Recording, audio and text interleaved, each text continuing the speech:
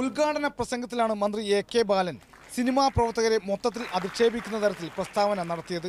വിനായകനായിരുന്നു ഏറ്റവും നല്ല നടൻ ആ സ്റ്റേജ് പങ്കിടാൻ പോലും ചിലർക്ക് മടിയായിരുന്നല്ലോ. അതിനുശേഷം പ്രസംഗിച്ച ജോയ് മാത്യു ആദ്യം മന്ത്രിയെ പുകഴ്ത്തുകയും പിന്നീട് മറുപടി നൽകുകയുമായിരുന്നു. പക്ഷെ നമ്മളൊന്നും ക്ഷണിച്ചിട്ടില്ല. ക്ഷണിക്കാതെ നമ്മൾ കയറി ചെല്ലുന്നത് ശരിയല്ലല്ലോ. അതുകൊണ്ട് നമ്മൾ പോയില്ല എന്നുള്ളൂ ഞാനൊക്കെ അങ്ങനെ പോകാതിരുന്നു. ഞാൻ പലരോടും ചോദിച്ചു അവരൊന്നും അങ്ങനെ ഔദ്യോഗികമായി വിഷയം ചൂടുപിടിച്ചതോടെ തങ്ങൾ ജോയി മാത്യുവിനെ ക്ഷണിച്ചിരുന്നില്ലെന്നും ക്ഷണിച്ചിട്ടും വരാതിരുന്നവരെയാണ് താൻ ഉദ്ദേശിച്ചതെന്നും മന്ത്രി മറുപടി നൽകി. G Prasad Kumar Mathrubhumi news Palakkad.